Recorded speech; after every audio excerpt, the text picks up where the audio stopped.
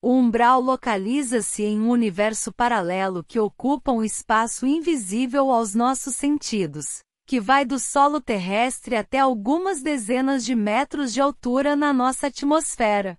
Confira abaixo 10 características da vida no umbral relatadas em livros psicografados, incluindo os de Chico Xavier.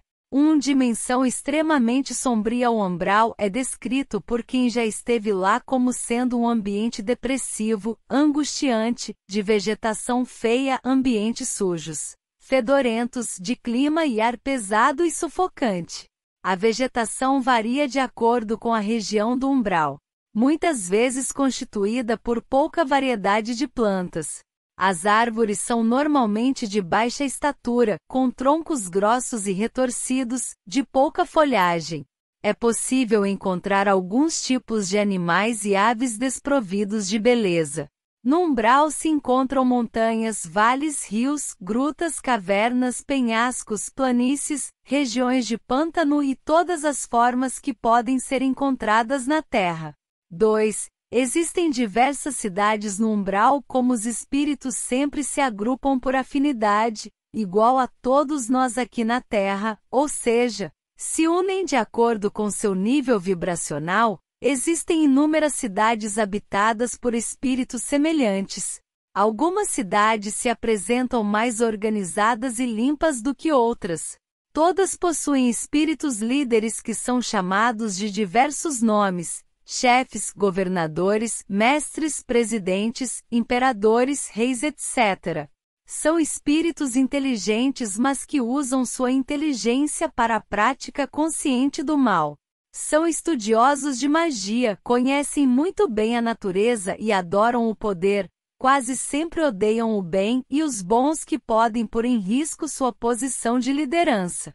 3. As cidades possuem construções semelhantes às que encontramos nas cidades da Terra. As maiores construções são de propriedade do chefe e de seus protegidos.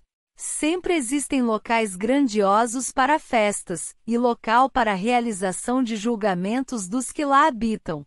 Em cada cidade existem leis diferentes especificadas pelos seus líderes. Lá também encontramos bibliotecas recheadas de livros dedicados a tudo que de mal e negativo possa existir. Muitos livros e revistas publicados na Terra são encontrados lá, principalmente os de conteúdo pornográfico. 4. Ninguém vai para o umbral por castigo, a pessoa vai para o lugar que melhor se adapta à sua vibração espiritual. Quando deseja melhorar, existe quem ajude. Quando não deseja melhorar, fica no lugar em que escolheu. Todos que sofrem no umbral um dia são resgatados por espíritos do bem e levados para tratamento para que melhorem e possam viver em planos de vibrações superiores. Existem muitos que ficam no umbral por livre e espontânea vontade se aproveitando do poder e dos benefícios que acreditam ter em seus mundos. 5. Além das cidades encontramos o que é chamado de núcleos não constitui uma cidade organizada como conhecemos, mas se trata de um agrupamento de espíritos semelhantes. Os grupamentos maiores e mais conhecidos são os dos suicidas. Estes núcleos são encontrados nas regiões montanhosas, nos abismos e vales. Por serem espíritos perturbados, são considerados inúteis pelos habitantes do umbral e por isto não são aceitos e nem levados para as cidades em volta.